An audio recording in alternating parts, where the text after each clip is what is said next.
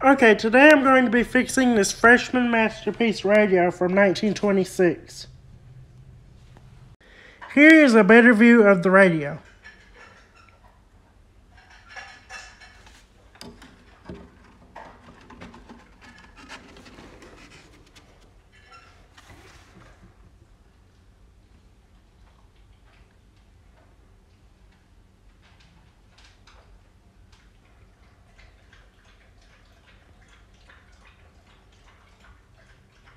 Currently, the radio does not have any vacuum tubes in it.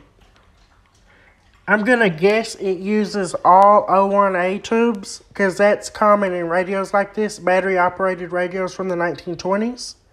So that's my guess. It takes all 01A tubes. And luckily, I have some extra 01A tubes. Okay, I have placed all type 01A tubes in the radio. Now we will connect the radio to a power source. Okay, so usually these two binding posts right here would be connected to your A battery, which is 6 volts. And these binding posts right here would go to your B battery, this being the negative, these two being the positive for your detector and amplifier. Um, your B battery would be about 90 volts, and your A battery would be 6 volts. This binding post would go to the earth ground, and this one would go to the aerial or the antenna. Instead of using batteries, I'm going to be using this DC power supply, which is variable, and I will be using an AC, a 6 volt AC transformer with a rectifier for the A battery. Okay, I have the 6 volt transformer that goes to the rectifier connected in place of the A battery. This will not provide the best sound quality, but it, at least it'll make the radio functional so I can test it. Let's test the tube filaments. They're all glowing. Okay, let's ground the radio to an earth ground. And let me bend this wire. Okay, the mouth of the plug, I always picture the plug like a face, or the 120 volt outlet like a face. The mouth would be the ground that goes to the earth.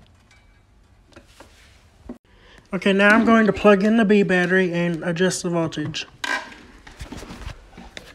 Okay, we have 90 volts. Let's do 45 volts, just to be safe.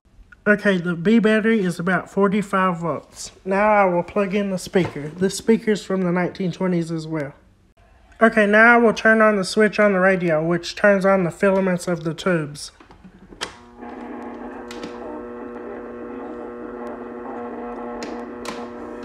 So it's not the best sound quality because I'm using an AC transformer through a rectifier.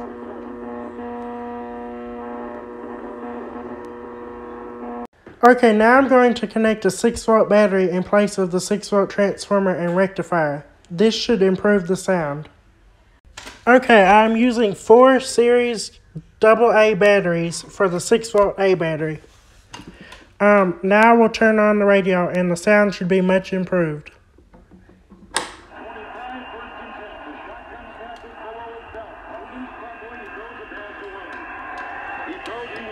in the